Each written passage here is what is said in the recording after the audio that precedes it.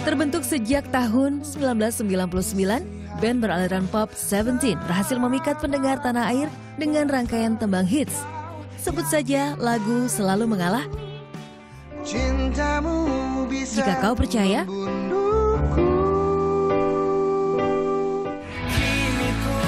menemukanmu, jalan terbaik,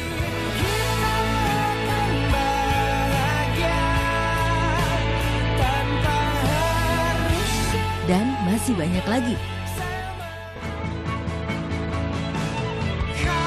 Sempat berganti vokalis pada album ketiga mereka pada tahun 2008, tidak menyurutkan kreativitas mereka untuk menyajikan musik berkualitas yang mudah dicerna. Terbukti dengan komitmen selama 17 tahun dari para personil, Ivan pada vokal, Bani pada bass, Herman pada gitar, dan Andi pada drum, Seventeen telah rilis 5 album. Tahun ini menjadi salah satu momen Seventeen untuk menunjukkan karya terbaru dengan nuansa musik yang lebih segar.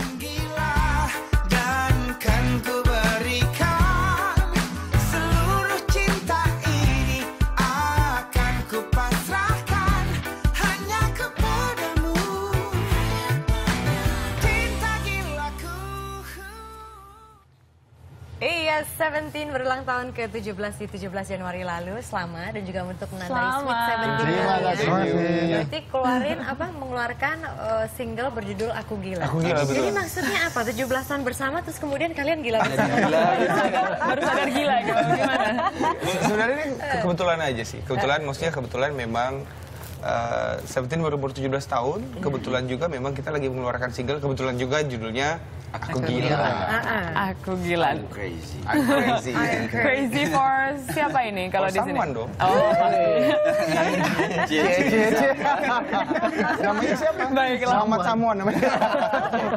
ini 17 tahun bersama sebenarnya apa sih yang bisa dipetik dari perjalanan? Ini kan 17 tahun berarti dari tahun 99. Ya. Waktu pertama kali forming berarti umurnya baru berapa sih? Saya SMP, kita ya? mau muda, kita biar biar nggak bisa ketebak. Umur kita waktu itu masih sekitar 9 tahun. Jadi sekarang 26. Masih muda. 99 kita SMA waktu itu.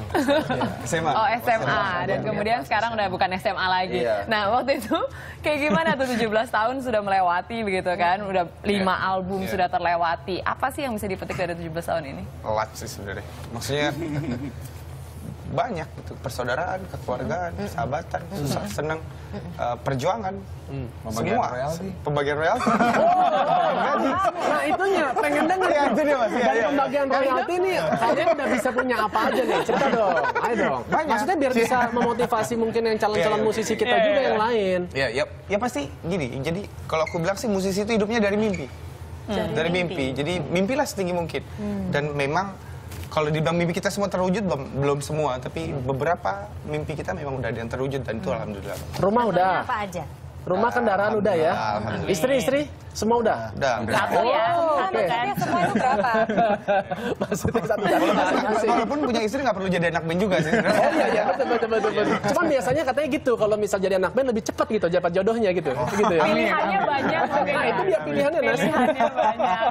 Tapi boleh ceritain nggak sih dukanya gitu? Ada nggak sih titik terberat kalian uh, sa- saat menjalani 17 tahun ini sebagai sebuah band? gitu?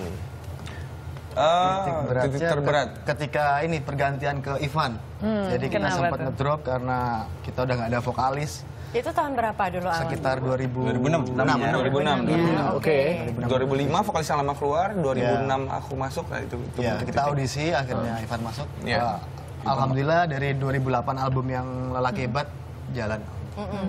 17 tahun bersama itu bukan hal yang mudah bagi sebuah Iya. band. Nah sebetulnya kunci kalian itu tetap solid selama 17 tahun dan juga tahun-tahun berikutnya itu Kuncinya apa? adalah key. Oke. Karena adalah because. enggak, enggak, enggak. Sebenarnya gini sih, kita kita punya sebuah solusi jitu dalam menghadapi sebuah masalah. Oh. Iya. Apa itu? Contoh Jadi, eh, gini, gimana Ji? itunya Problem solvingnya ya. Ap- apa pun masalahnya, eh, apa pun masalahnya di antara sebuah grup atau sebuah kelompok atau sebuah band, itu sebaiknya yang orang-orang yang ada di dalam situ itu harus mundur, harus mundur. Jadi gini, eh, k- eh, kalau kita mundur itu kelihatan yang di tengah masalah sebenarnya apa. Ya. Mundurin Kalau- ego, maksudnya Iya. mundurin ego ya? Kalau kita semua maju, itu masalahnya nggak kelihatan, yang kelihatan cuma ego kita masing Waktu itu contohnya apa? Yang yang pernah kejadian udah gitu kalian mengatasi Ya. seperti apa? Royalti. Lagi-lagi royalti. Itu berkata sekali loh sebenarnya. Paling biasanya kalau pas kita lagi bahas Studio, lagu di studio, ya misalnya maunya ini maunya ini ya udahlah yang terbaik aja apa seperti apa gitu. Pemilihan label segala Iya. macam, maksudnya le- lebih ke menentukan ini apa pun yang yang berkaitan yang yang krusial tentang band ini gitu. Itu biasanya kita pasti agak ribut tuh biasanya pasti begitu. Iya. Hmm. ha-ha. Nah bicara meng- mengenai musik, album terbaru kalian ini nanti akan dirilis bulan Februari. Iya, Iya. Mohon ceritakan. Iya. Iya, jadi eh, album kita insya Allah Februari rilis, Rilis. album ke-6 dan eh, dari album satu ke album kelima, eh, album ke-6 adalah album satu-satunya di mana kita bekerja sama dengan musik director untuk eh, aransemen musiknya. Oh, Kenapa sebelumnya? Sebelumnya memang nggak pernah, maksudnya pernah kita jadi. ngerasa pede lah. Sekarang udah pede. Sekarang enggak, sekarang otak eh, maksudnya Keterbatasan dana Sekarang juga. udah, sekarang udah overload kali ya. Udah overload ya. Iya mas benar-benar. Maksudnya eh, kita pengen sesuatu yang baru gitu. Sedangkan kita ngerasa oke eh, kita perlu. Maksudnya gini. Pada saat kita bekerja sama sama musik director, eh, yang bisa kita ambil adalah otak yang baru dan juga pengetahuan yang baru aja yang kita pengen kita pengen belajar Termasuk lagi. juga kayaknya saya dengar warna musiknya juga lebih segar ya. Iya. Jadi memang eh, dari mulai rock ke pop, tapi sekarang juga saya dengar ada, iya ada kayak dangdutnya, ada kayak reggae-reggaeannya juga gitu. Itu juga Tadi suaranya bagus loh. Hah? Tapi saya katanya lebih bagus, lebih kalau diam. Kalau penggemar Seventeen, benar nggak ya? Takut tergantikan nggak itu? Agak jiper dikit sih. Bener kan ya tuh benar ya. Dua dikit dong. Coba dua dikit Tadi, dong. tadi, tadi. Tadi. Apaan? Apa harus mengalahnya? Ayo dong, ayo dong. Sini, sini, sini. Ada. Eh mas, mas, kita bagi. Ini aku yang grogi nih.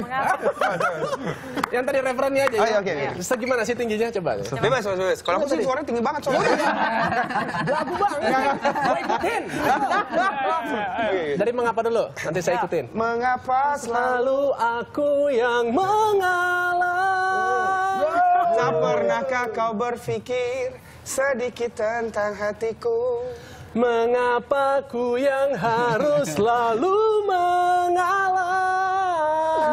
Pantaskah hatiku masih bisa bersamamu?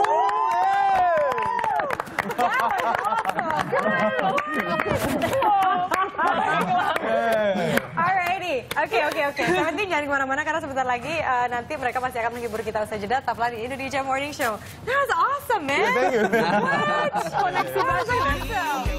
Sungguh cinta.